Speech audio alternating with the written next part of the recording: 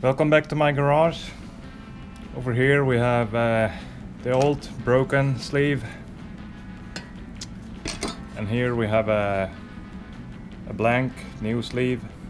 So I need to put some holes in this sleeve, which isn't too much of a problem uh, except for the, the transfers because they are a bit of a pain in the ass to do it when it's in place in the cylinder because I don't really have the, the right tools for the job so it's taking a, a very long time. I will show you what I'm using. So for the the rough porting with the sleeve in the cylinder I, I use this uh, this Chinese angled tool. It's not great, but it's uh, it, it works pretty good.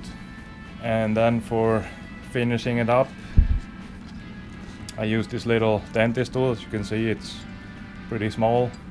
Well, it's pretty handy because I I can get at everywhere. Uh, it's no no problem to get at all the angles and, and stuff like that. I have some more tools for it too.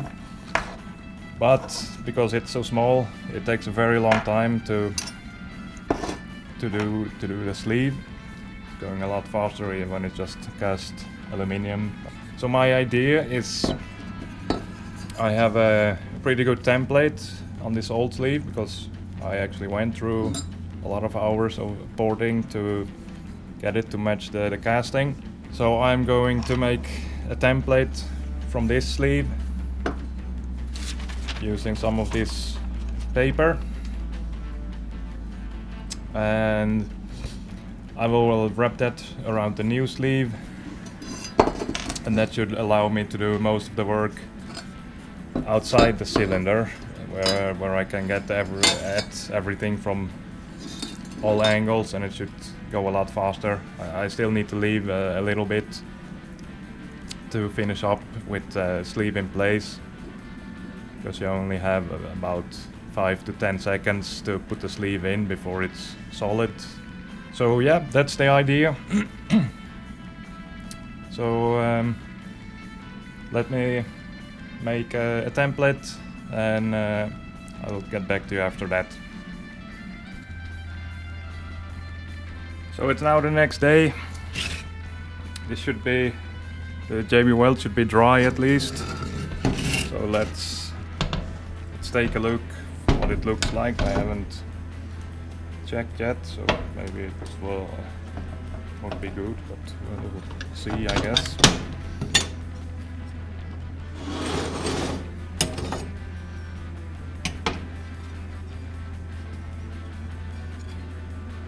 It looks like it will. Uh, looks like it's sealed.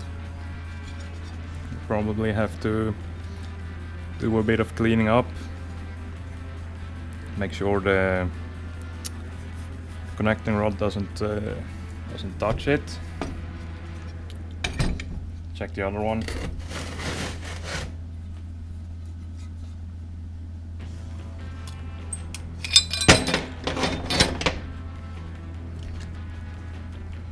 a little piece of plastic did did the job perfectly. It's, as you can see here, it's uh,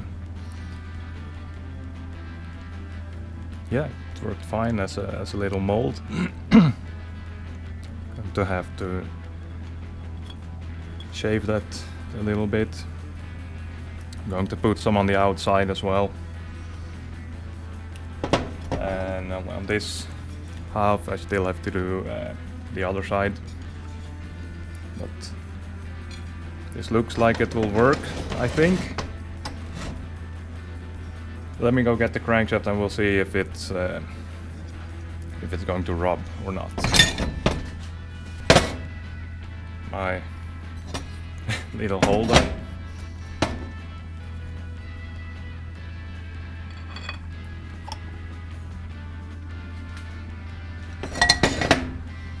Let's see.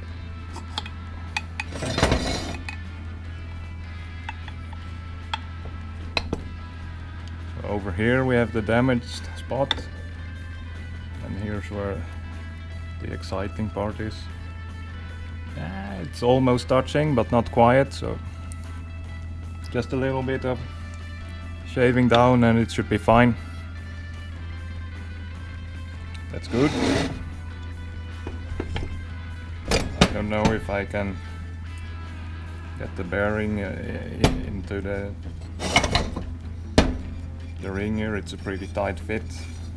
But we'll, I will try. Not going to press it in or anything because I think you get the idea. But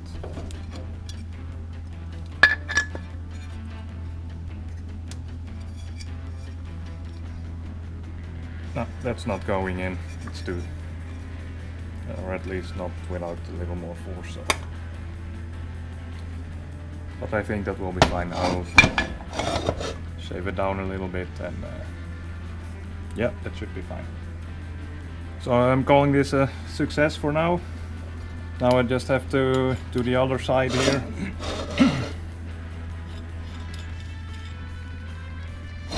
and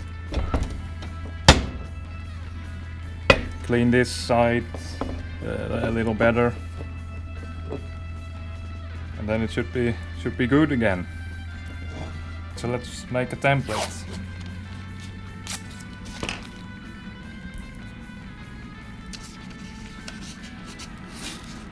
going to the intake is going to be different so I'm not going to put that in the template. My paper is too short anyway. Let's see.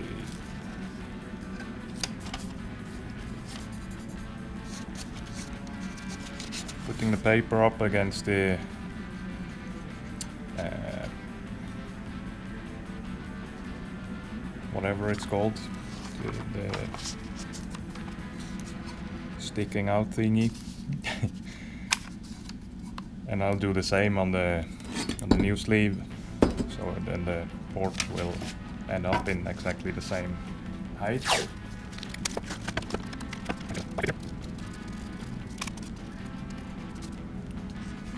I think that's good enough. See if my fingers are dirty enough for this. Port here.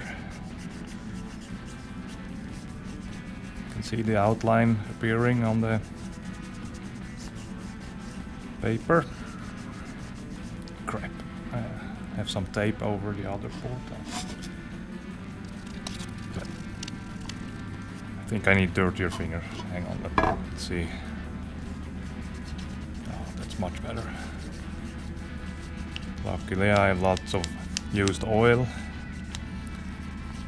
in containers in my garage. Here's the exhaust port.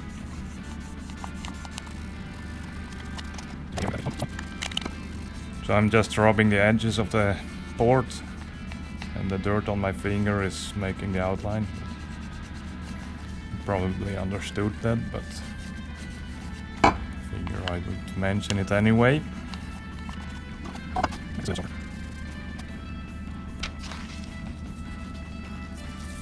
there you have it, my port map. Let me go cut it out. Not going to show you that. I'm showing you anyway.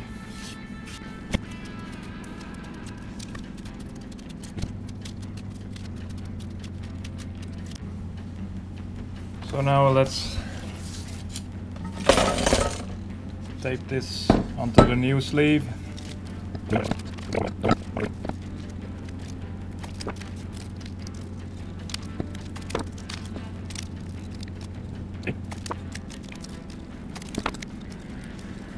there we go. Now I'm going to start putting the holes in uh, in the mill. Most of the work in that because it's it's fast, and then finish it up by hand outside the cylinder. Press it in, and then finish it up inside the cylinder.